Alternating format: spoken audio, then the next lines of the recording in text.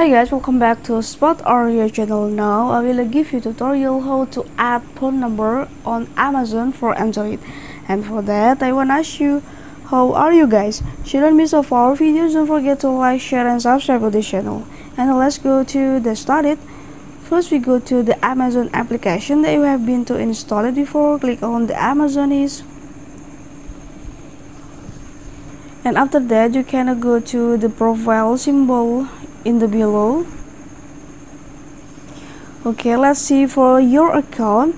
For the your account button here click on the your account. And the, for the next step you can uh, click the manage your profiles.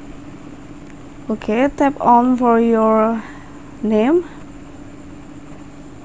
Okay that you can see there is have the mobile number here is not set here. How to add it you can uh, click the pen here or you can click the symbol of the pencil here click on. It's like for the edit. And I tap for the area code about the Indonesia. And type here. And after you can type about your number you can click the continue for the yellow button.